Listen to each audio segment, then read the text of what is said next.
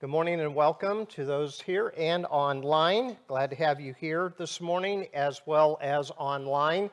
Uh, we are gathered together here on this first Sunday of June, and today begins the celebration of Pride. Uh, in the United States, June is the month designated for Pride.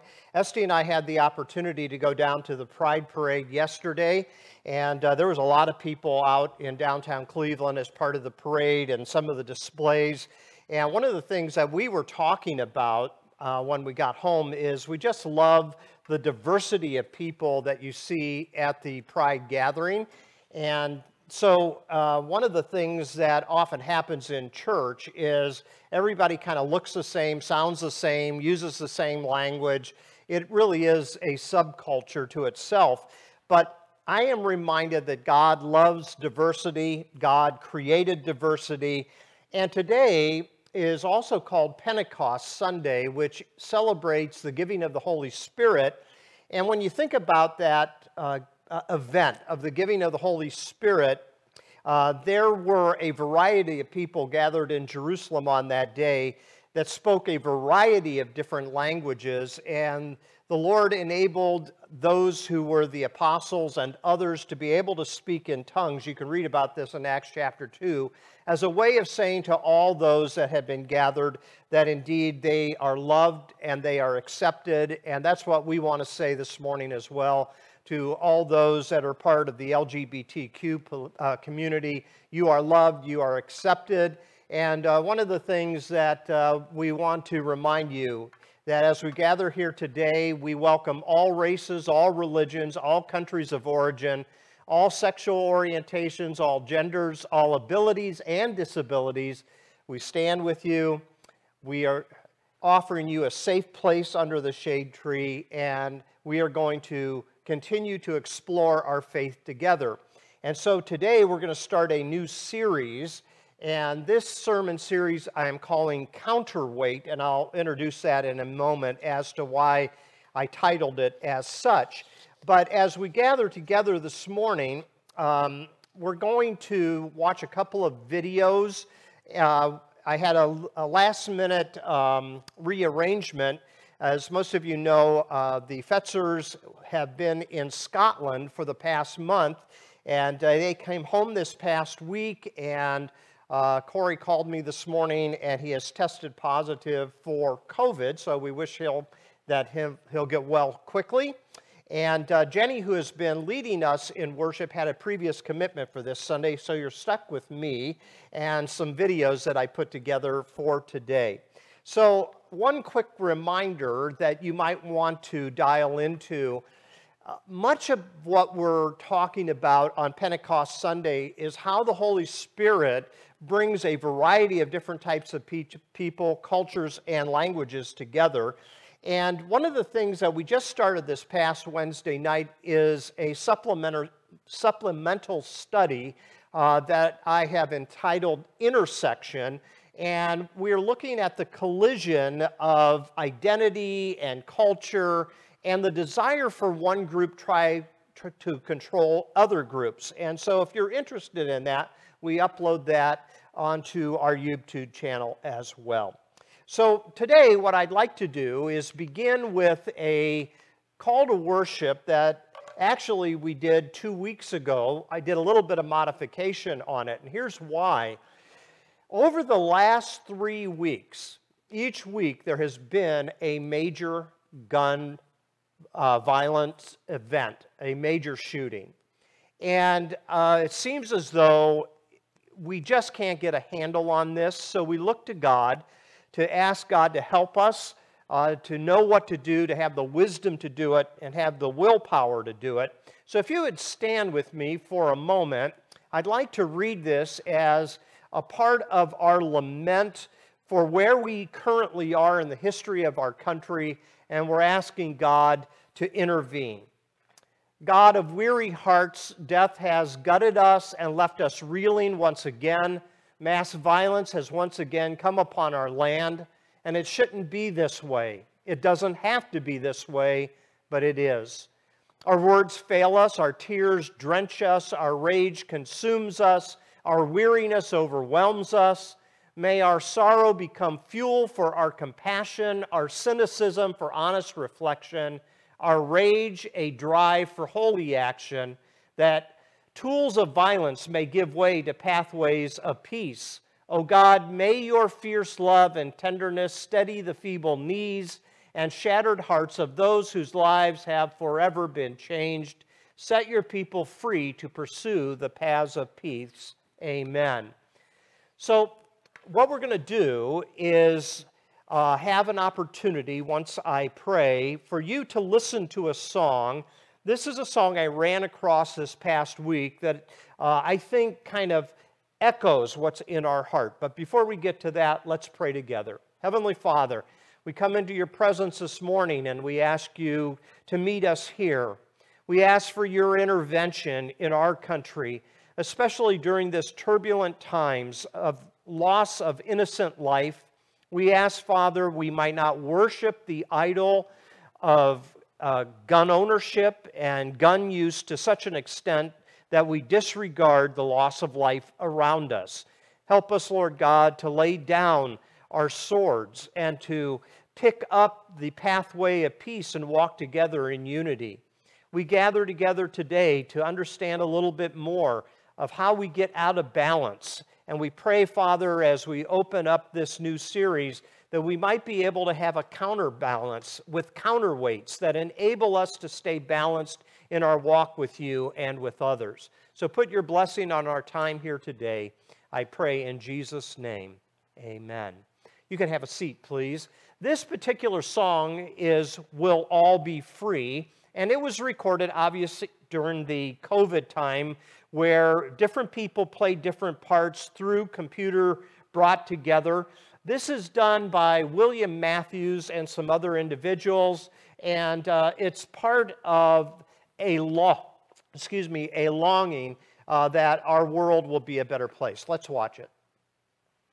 This first is a quote from Rowan Williams. Um, I want to read this and then we'll watch.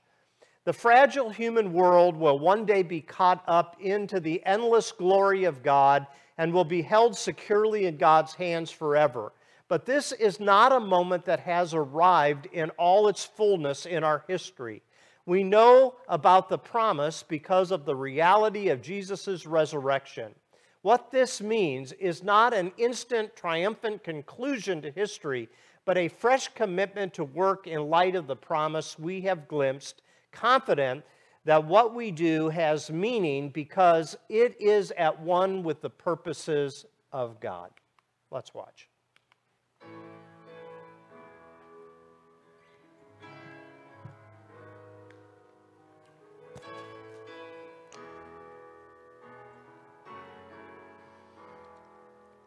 There's a word.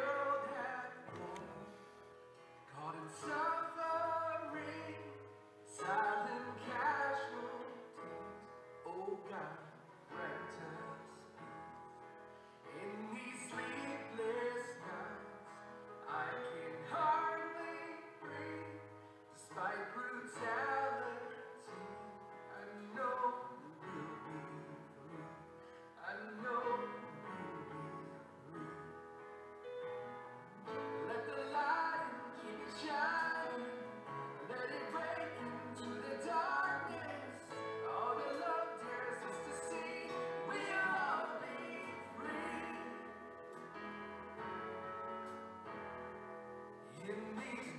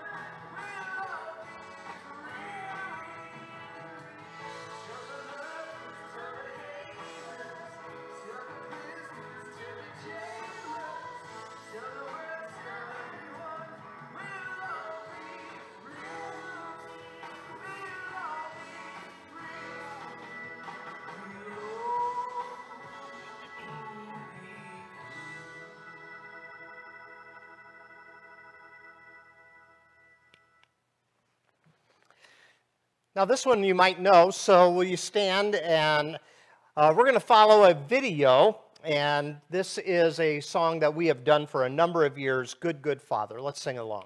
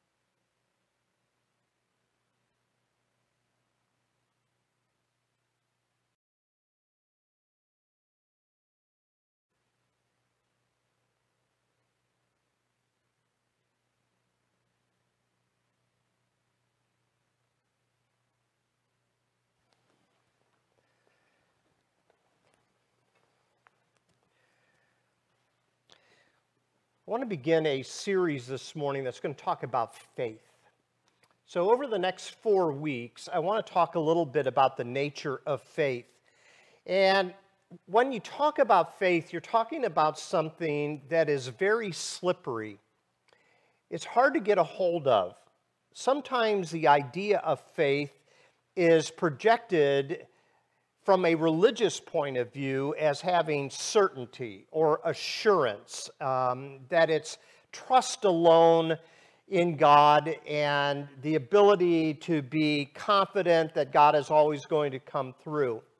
When we study the subject of faith in the scripture, it has a lot of different angles to it. Now, we live by faith all the time. You got in your car to come to church today. And when you got into your car, you trusted that your car was going to start, that your brakes were going to work, and that when you got here, uh, your car would have brought you here safely. That's an act of faith because all of us had, have had times where we've gotten into the car and it didn't start, or there's something that broke down along the way. But when you get into the car and you attempt to start it, you have this confidence that it's going to take you where you want to go. Every time you go to a restaurant, you eat by faith. You really do. Uh, the food that you are eating, you're trusting that it's safe, number one, and that the server didn't spit it, number two, uh, that all of this is safe for you to enjoy.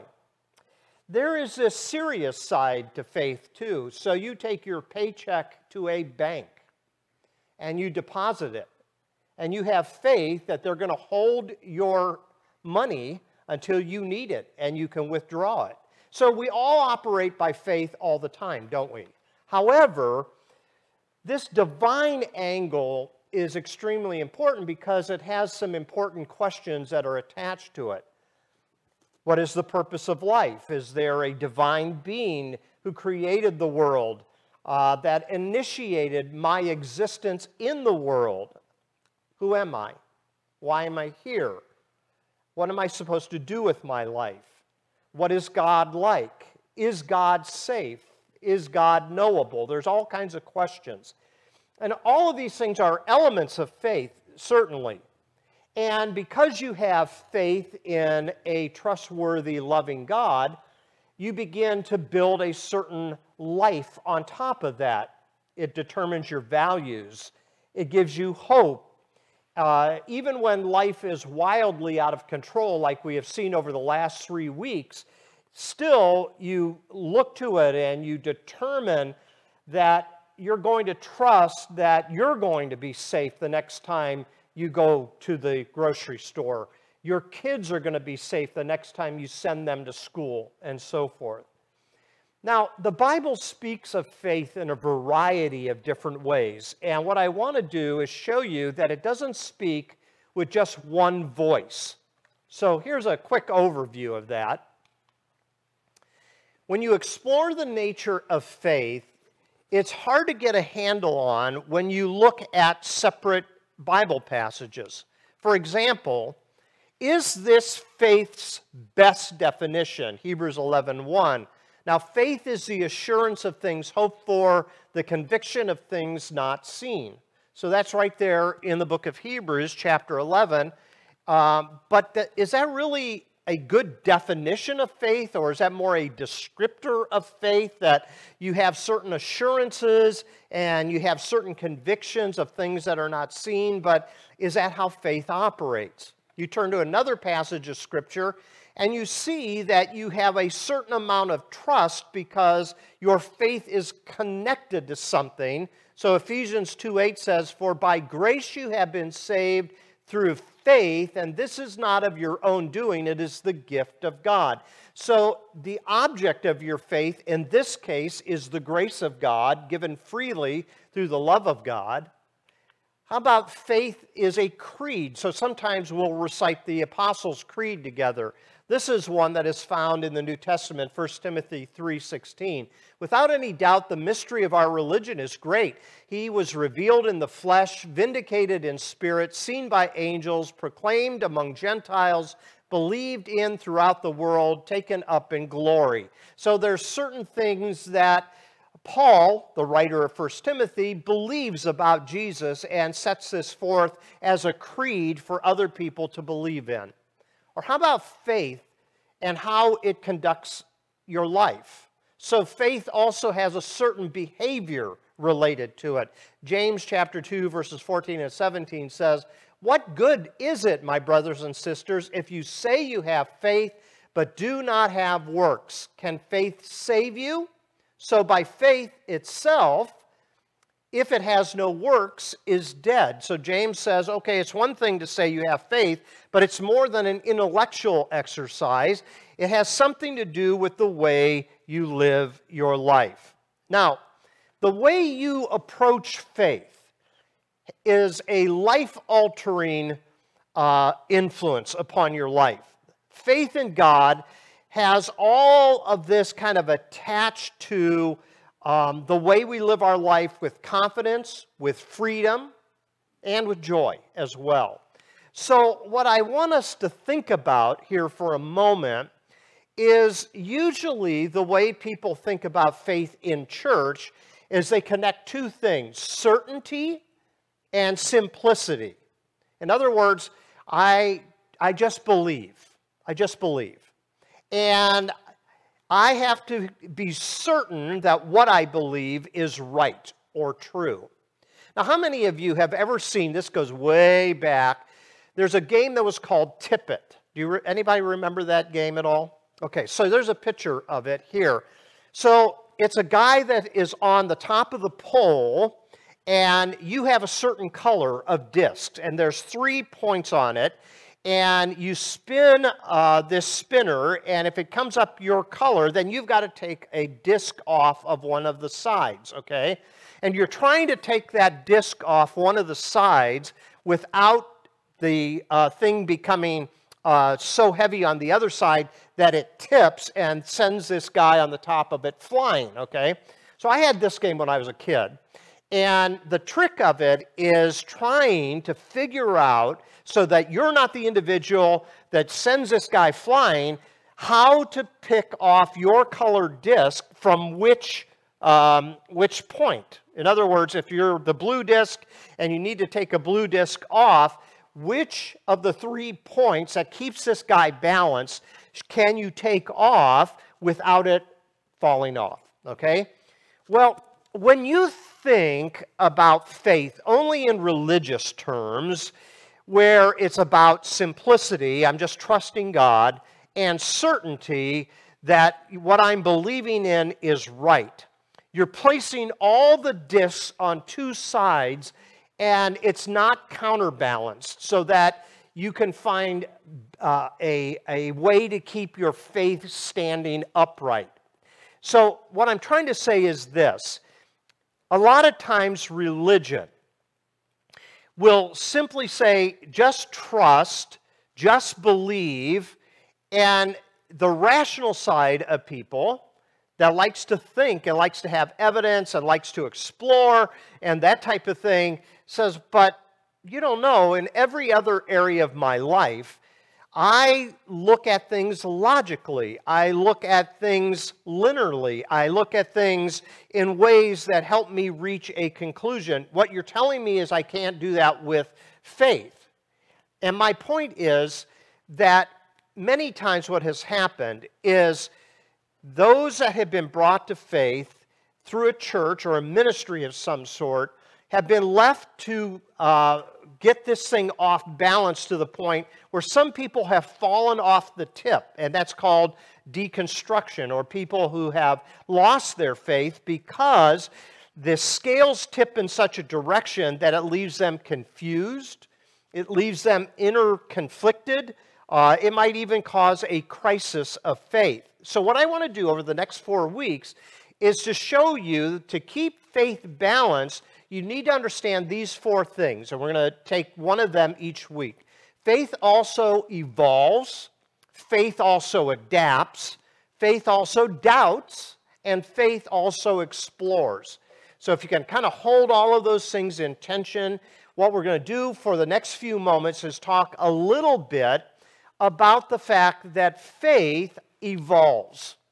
So listen to Brian McLaren in his book, it's a bit dated, called Finding Faith. He says this The search for faith also involves non cognitive parts of us emotions, longings, aspirations, dreams, and hopes and fears, drives, desires, and intuitions. It often forces us to face some ugliness in ourselves, some hard facts about life requiring courage, honesty, and determination. Faith involves admitting with humility and boldness that we need to change, to go against the flow, to be different, to face and shine the light on our cherished delusions and prejudices, and to discover new truths that can be liberating, even though they may be difficult for the ego and painful to the pride. The search for an authentic faith must be the most life changing quest anyone can ever launch. That's called Finding Faith on page uh, 13 and 14. So, if that is true, then one of the things that we need to do is, first of all, understand that faith is always evolving, it's not static. Sometimes when people uh, trust in God or trust in Christ, they think that their faith just stays the same the rest of their life, and that will get people in trouble every time. We are simply going to understand that even in the Bible itself, we see an evolution of faith from the beginning all the way to the end. Now, many times we need a faith that is better than the one that has been handed to us. And because that is true, we need to have faith evolve as it emerges from one state of being that we're in to another. And we can call this evolving faith, we can call it reconstruction or readapting, whatever you might call it. But that often causes people to be fearful. So sometimes people want certainty in their life, and so to have certainty, nothing can change. Have you ever know, known people like that? And it can be in the simplest of things. They're fearful of change and they want to keep things the way it always has been. Now, when that comes to faith, many times what that does is it causes people to kind of shut down in evolving in their faith, growing in their faith, learning more. So there's all kinds of lingo that is used. I just want that old time religion. Well, that's kind of a subtle way of saying, don't force me to think. Don't force me to change. I just want to believe what I once did when I was nine years old, when I was baptized, and I don't want to wrestle with the fact that life is more complex than that. So many times people don't like to think about this stuff. Sometimes people are spiritually lazy, you might say. But you evolve in other areas of your life all the time. When you became a parent, if you're a parent, um, you changed. You had to change. If you did not change, you wouldn't change your baby. You wouldn't feed your baby. You have to change if you're going to be a good parent or if you're going to be a good employee. Maybe there's a new software that was introduced. And if you're going to stay working in the place that you are working, you're going to have to change. You're going to have to learn that new software just to be able to continue to do your job. Are you following what I'm saying? And so we are adapt to changing in every other area of life, right? So we'll make changes. Let's say science introduces new medication. Uh, so Annie's a nurse, and uh, this medication has the way to make uh, inroads into certain diseases. And you'd be stupid if you ignored what has been discovered because it could be life saving, let's say. So we do this in areas of other areas of life all the time. Now, here's the issue everyone's faith evolves, or at least it should from the time they first come to faith. And faith doesn't stand still, it never has stood still, but many times people do not observe that. The evolution of faith is as old as the Bible. And if you want me to give you a proof text, I will give you a couple of references in a, mo- a moment. But all you have to do is read the Bible itself, and you see it changing from the beginning to the end. So here's what I want you to think about uh, before I give you those references. So, Brian McLaren, in another book that he has written, um, talks about four stages of faith that we all go through simplicity, complexity, perplexity, and then finally harmony. And what he says is we all go through this. We go through the process of changing from one level of faith to another. And what we find is life forces us to move. So you had simplicity in other areas of your life, and then other things came along and it's more complex, and perhaps you were perplexed about how to make the changes to adapt, but finally you do. And when, when you do, you can find harmony within that area of your life. Now, when it pertains to religious faith, you have to keep this in mind while there is a description of where a person might be in their faith, there are also dangers that come along with it. So let's say the simplistic faith looks like this it says everything is knowable. Hey, I have God's Word. God's Word is all I need, it's the truth.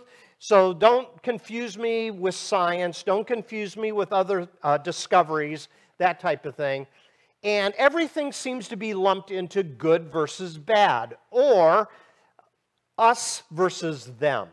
So, have you noticed a lot of times in Christianity, Christianity doesn't know what to do with other world religions. And so it's us versus them. We're right, they're wrong.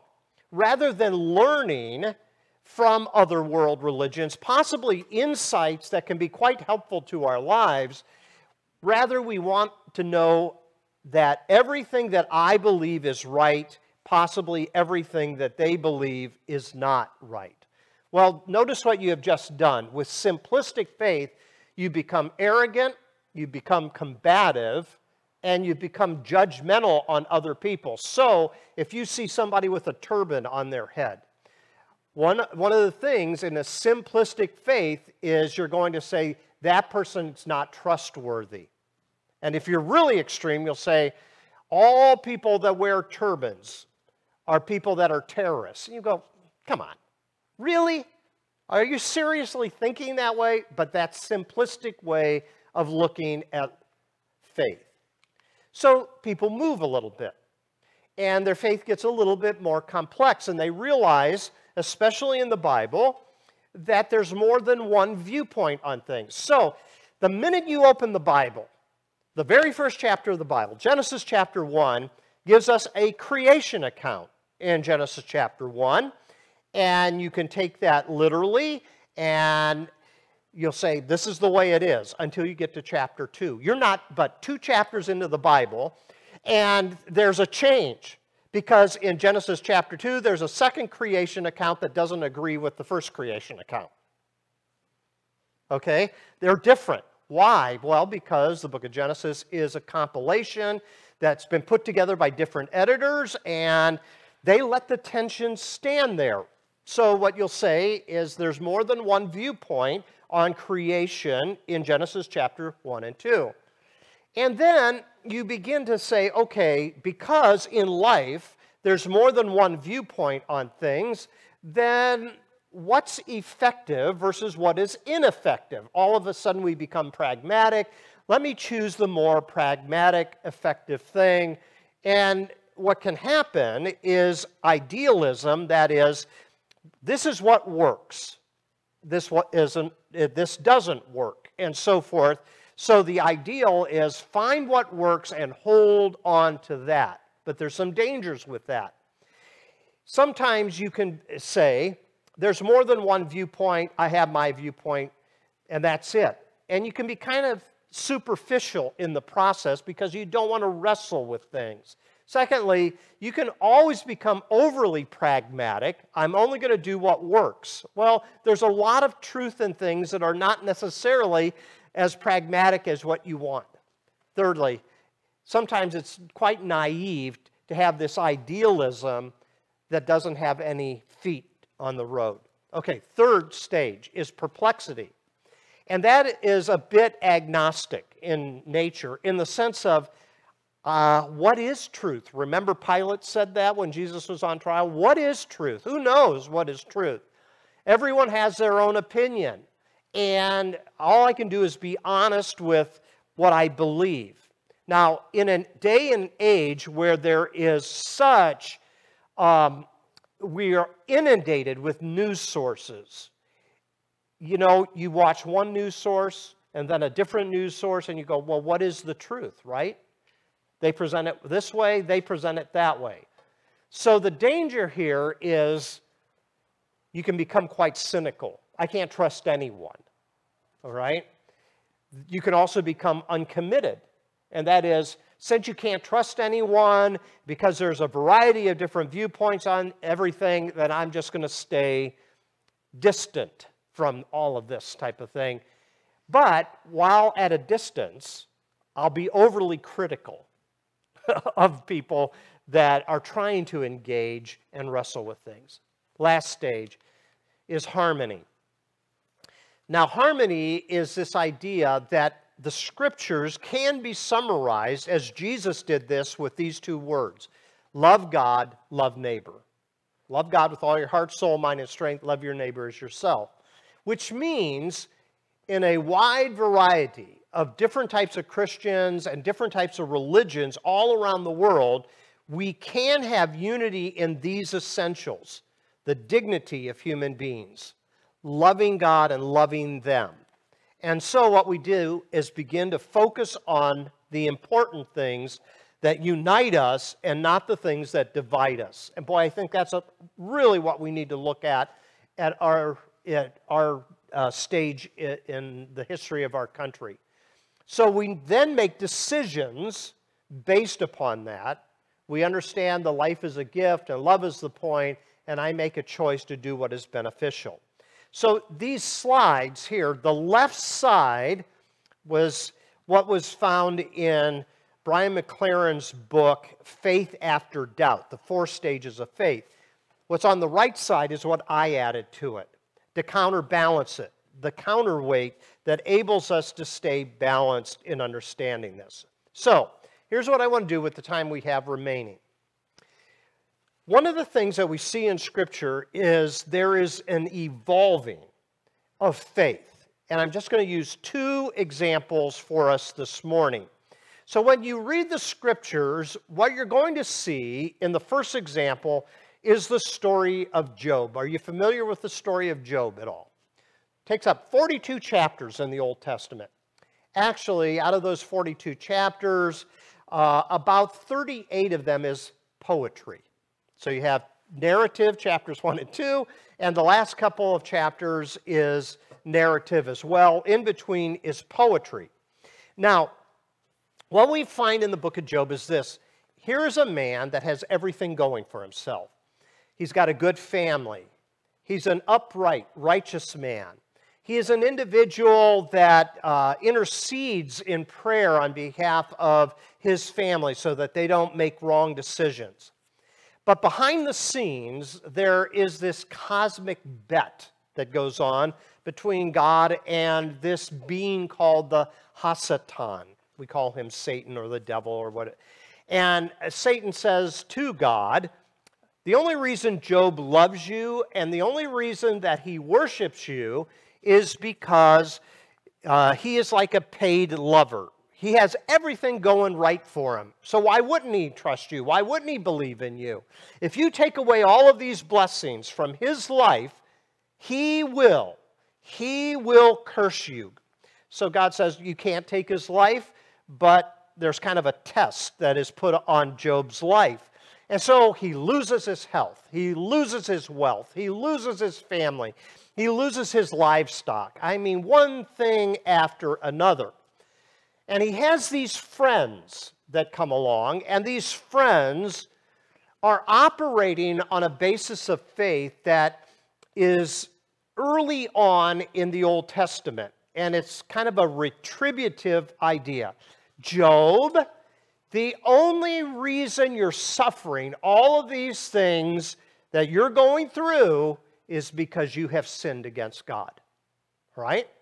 You have sinned, and there is this direct relationship. That is, if you're suffering, you have sinned. Because this God is a tit for tat being who always operates on the basis of reward and punishment. How many of you know people like that in their faith? Everything is reward or punishment. What did I do to deserve this? Uh, that type of thing. So, the bulk of the book of Job is this um, poetry of Job trying to wrestle with the fact that he didn't do anything wrong. And that's what he tells his friends. He tells his friends, I didn't do anything wrong to deserve all this that I'm going through. So by the time you get to the end of the book, what you find is in chapter 42, verse 7, God speaks to kind of the front person of this group of friends that Job has. And I just want to read it for you. Job chapter 42, verse 7. After the Lord had spoken these words to Job, the Lord said to Eliphaz the uh, Temite, My wrath is kindled against you and against your two friends, for you have not spoken of me what is right, as my servant Job has. Isn't that fascinating? Job had it right. He didn't deserve any of this stuff. You see, Job his faith had evolved in trusting that God is a good God, even though he can't understand why he's going through what he's going through. So the friends have this old viewpoint of God, but Job has this evolved faith in God that God is truly up to something that he cannot understand, but he's still going to trust. And this famous verse is found in the book of Job. Though he slay me, yet will I trust him. In other words, even if God takes my life, yet I'm going to trust him. So here's the point Job's friends have a retributive view of God. You're suffering this because of that. Job doesn't have that understanding of God at all. He knows he has done nothing wrong to deserve his suffering. So, in the end, what we find is God comes and agrees with Job that the friends have a misrepresentation of God. Well, the friends could build a case out of the book of Deuteronomy that God says, hey, if you obey me, I will bless you. If you disobey me, I will punish you. But Job himself is saying, no, that's not always the case. You've got to be able to move beyond this and understand that God does things that are mysterious. So that's example number one. One other one. Example number two so there's these two books that are found in the Old Testament. One is the book of Nahum, and the other is the book of Jonah. You're probably familiar with Jonah because Jonah tells the story of a runaway prophet uh, that gets swallowed by a fish, then gets regurgitated upon the shore, and finally goes to proclaim to the nation of Assyria, and in particular, the capital city is Nineveh, to repent uh, and to come to God. So Jonah is familiar, but Nahum is not. So Assyria, this ancient empire, was a brutal empire. And they conquered people around them all the time.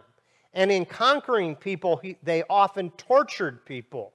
Some of them were skinned alive. And so the book of Nahum is this short little three chapter book that is the oracle of this prophet named Nahum saying God hates the Ninevites. He absolutely hates the Ninevites. Let me give you an example. Nahum chapter 1. It says, A jealous and avenging God is the Lord. The Lord is avenging and wrathful. The Lord takes vengeance on his adversaries and rages against his enemies. So it goes on and it says this. In chapter 2, he talks about how God is against these people. Uh, it says in verse 13 of chapter 2 See, I'm against you, says the Lord of hosts, and I will burn your chariots in smoke, and the sword shall devour your young lions. I will cut off your prey from the earth, and the voice of your messengers shall be heard no more. I'm going to wipe you out, and I'm going to embarrass you in the process. In chapter 3, verse 5, it says, I'm against you, says the Lord of hosts. I will lift up your skirts over your face, and I will let the nations look on your nakedness and your kingdoms on your shame. Pretty aggressive, isn't it? So Nahum has this very aggressive viewpoint of God that God hates the Ninevites, he's going to judge the Ninevites, he's going to wipe the Ninevites off the face of the earth. And then comes Jonah. So Jonah comes along, and two books prior to the book of Nahum is the book of Jonah. Now, Jonah is written later, after the book of Nahum, in the sequence of things, and more than likely, the book of Jonah is primarily a parable. And this parable is kind of written after the exile to describe a different viewpoint of God. So Jonah receives this calling to go to the Ninevites. Chapter 1, verse 2 Go at once to Nineveh, the great city, and cry out against it, for their wickedness has come up before me. Jonah, I have you on a mission to go to Nineveh and proclaim your wickedness is going to bring judgment. Repent. And what does Jonah do? If you know the story of Jonah, he turns the other way, he runs the other way, he gets aboard a boat that's going in the different direction, and, and by the time that uh, chapter 2 is done, he's thrown overboard because he's causing chaos and bringing judgment of God upon people, and it's there the story of the fish. And then finally in chapter 3, after he's been regurgitated or resurrected, you might say, it says in verse 1 The word of the Lord came to Jonah a second time, saying, Get up, go to Nineveh, that great city, and proclaim to it the message that I tell you. So Jonah sent out and went to Nineveh according to the word of the Lord. Now, Nineveh was an exceedingly large city, a three days walk across. And Jonah began to go into the city, going a day's walk, and he cried out, 40 days more, and Nineveh will be overthrown. All right?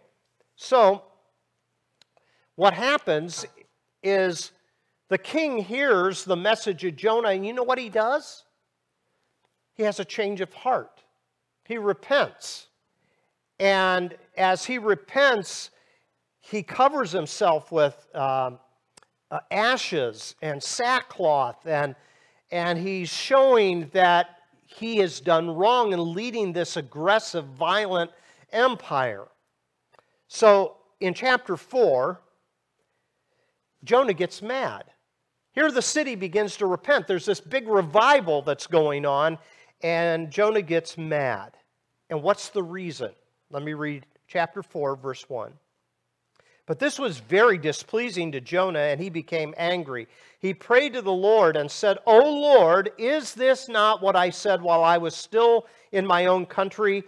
That is why I fled to uh, Tarshish at the beginning, for I knew that you are a gracious God, a merciful, slow to anger, and abounding in steadfast love, and ready to relent from punishing.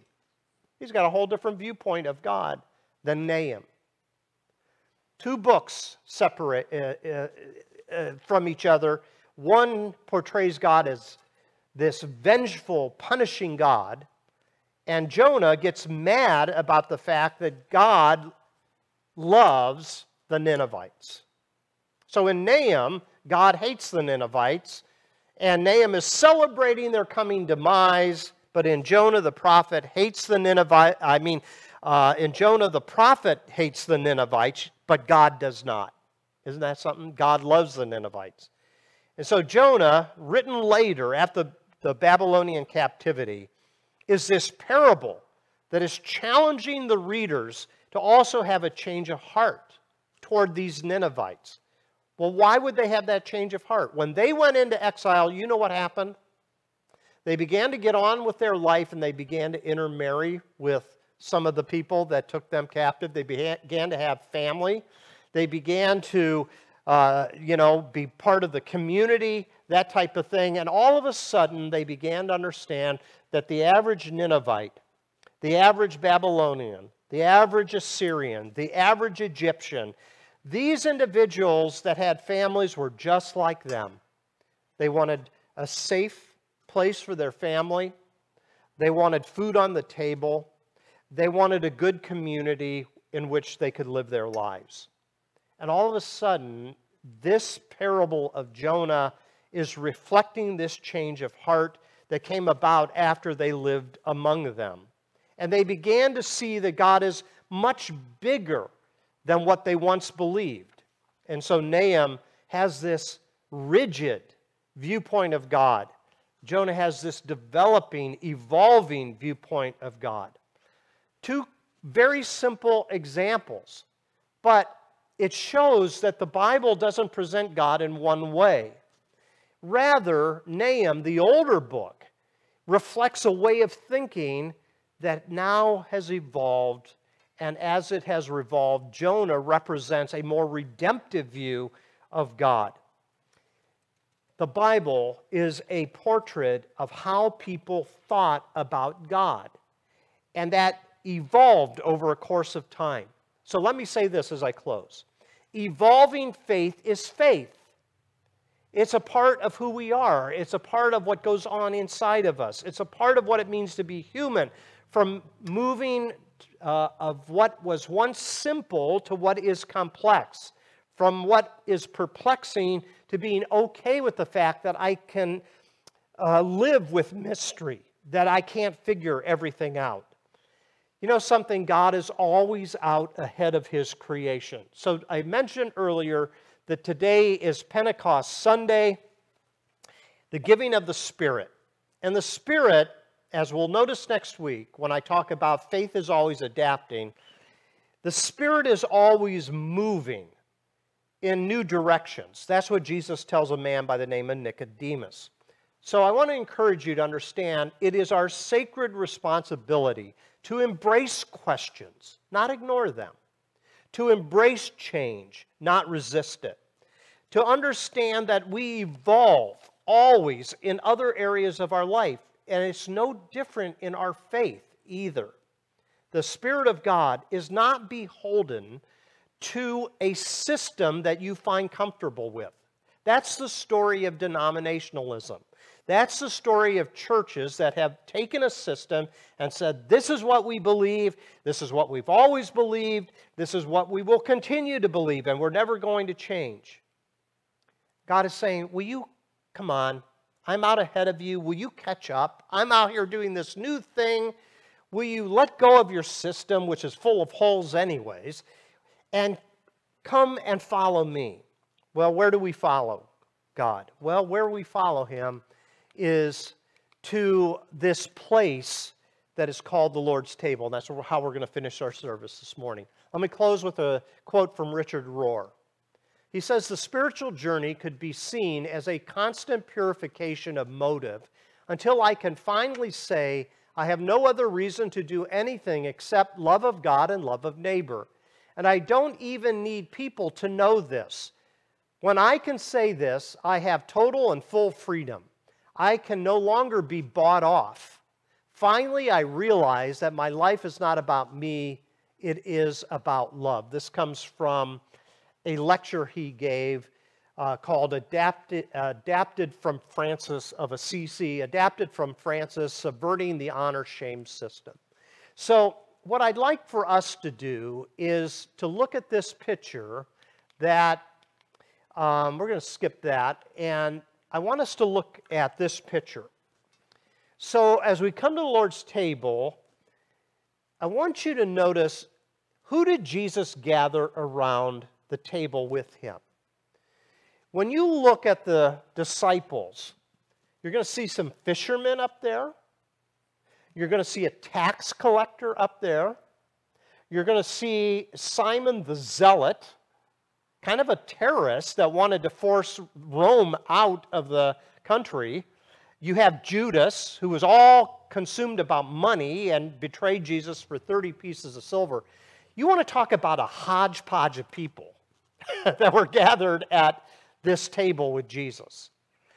They were not all the same, they were not uniform at all. And I wonder how much tension went on between these men that followed Jesus because they came from different backgrounds, because they looked at life differently. And you know something? Jesus brought all of them together and helped their faith evolve so that on the day of Pentecost, you know what happened? As they received the Holy Spirit, they went into all the world. They went in different directions, proclaiming this message for everyone to hear. And that is, we are all honored guests at love's table, every last one of us. And so he takes a piece of bread and he says, This is my body given for you. He takes the cup and he says, This is my blood. Drink it in remembrance of me. So each month we take the Lord's table, and I'm going to invite you to go ahead and come on up, watch the wires as you do so. Take a piece of bread and take the cup, and then when you're seated, we'll eat and drink together. Okay?